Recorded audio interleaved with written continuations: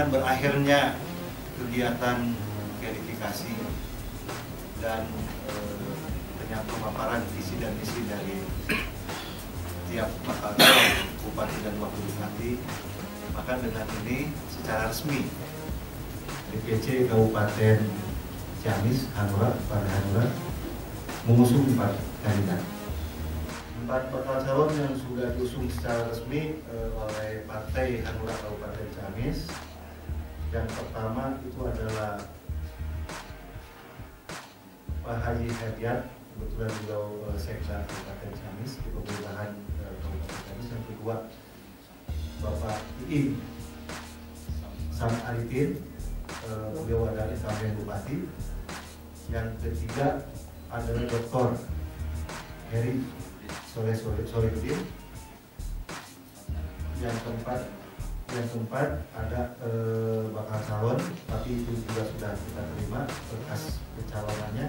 Cuman ada eh, persyaratan administrasi yang kurang lengkap. Namanya Nanan Permana. Yang Nanan Permana karena tidak mengikuti sama sekali, ya kita tidak akan mengusulkan keputusan. Tapi karena berkas meskipun tidak lengkap ya kan harus terima dalam bentuk sebuah usungan dari Partai dari DPC Partai yang Kabupaten. Karena prinsipnya ada aturan di kami tidak boleh di tingkat DPC maupun di tingkat eh, TPD tidak boleh mengeliminir siapa pun yang sudah mendaftarkan. Tetap berkas itu sekurang apa pun harus diusulkan ke eh, DPP Partai Hanura. Pelaksanaan survei itu ketika berkas ini sudah kita res- secara resmi disampaikan ke DPP. Nanti DPP yang akan menentukan lembaga surveinya secara langsung. Dari yang daftar kami semua di tulisannya bupati, bupati semua. Ya artinya kalau bicara modal Hanura yang dua kursi Ya. masih kurang 8 kursi. Ya.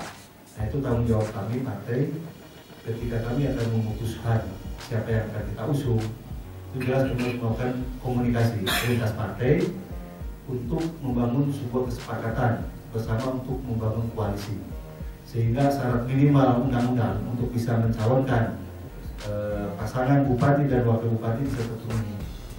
Kalau misalnya eh, Ciamis memiliki DPRD 50 kursi, dan syarat minimal itu 10 kursi dan itu dihitung dari 20 persen. Yang ikut verifikasi kali ini tiga orang, tiga orang. tiga orang. Yang hadir langsung Yang hadir langsung dua orang, yang satu lagi mewakili. Mewakilkan, diwakilkan.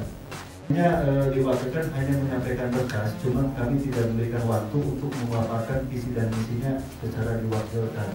Karena ini sudah menjadi aturan main di kami ketika dilaksanakan pemaparan visi dan misi tidak boleh diwakilkan, harus disampaikan secara langsung oleh yang bersangkutan.